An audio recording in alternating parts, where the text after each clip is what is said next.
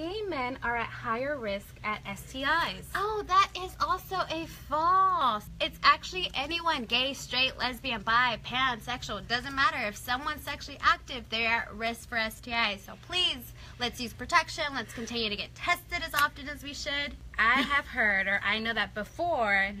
it was like once a year kind of mm-hmm. a thing, but I know that this is not the case anymore. Well, yeah, it's once a year, every year.